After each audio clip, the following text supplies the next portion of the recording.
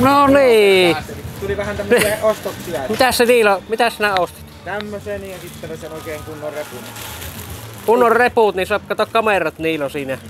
Siihen menee kaikkia. Ka- kamerat ja pelit laitettua kuule talteen. Eiköhän tälläkin pärjää sitten hyvin.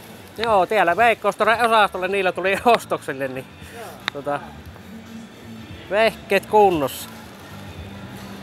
Ei tässä mitään, niin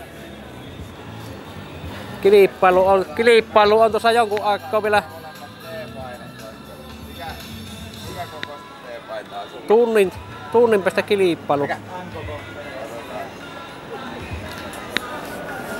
Kato, tuleeko että niillä oli vielä, niillä oli vielä teepaita sieltä, kato, että kaapan päälle teepaita siitä. Siinä.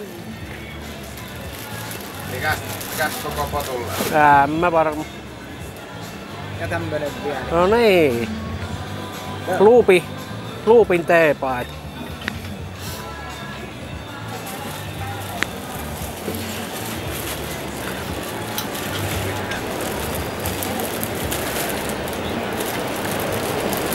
Sitten sulla Ja vielä. siinä on. Siinä on.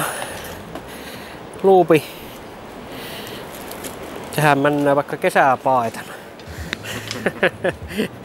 no niin. Eikö mikä, mitkä se on niillä on fiilikset ennen Hyvät, kilpailua? fiil- hyvät fiilikset tässä on ja kohta se alkaa sitten tää. Kohta alkaa- Kohta alkaa tää. Kohta, täällä kohta alkaa, kato niin...